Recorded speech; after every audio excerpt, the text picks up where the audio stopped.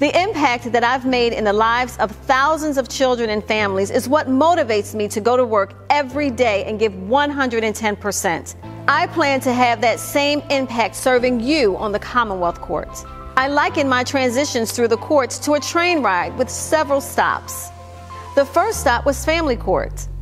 It prepared me to truly understand the needs of people and how to overcome systemic obstacles to respond to those needs. The necessary stop in criminal court enhanced that understanding and furthered my revelation that our systems are terribly broken.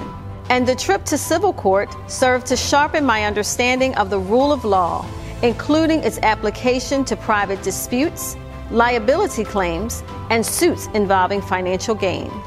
All of these stops were necessary to bring me to this time right now. Every one prepared me to see the big picture, understand the issues and players involved, and resolve them by using all of the tools I've gathered and placed in my judicial suitcase. Experience, perspective, balance, compassion, fairness, and justice, all necessary to render decisions that are based on what is legal, what is right, and what is just. On the Commonwealth Court, I will sit as an extra set of eyes to ensure that the rights of all Pennsylvanians are protected. Please support my candidacy for Commonwealth Court. I'm Judge Lori Dumas, and I approve this message.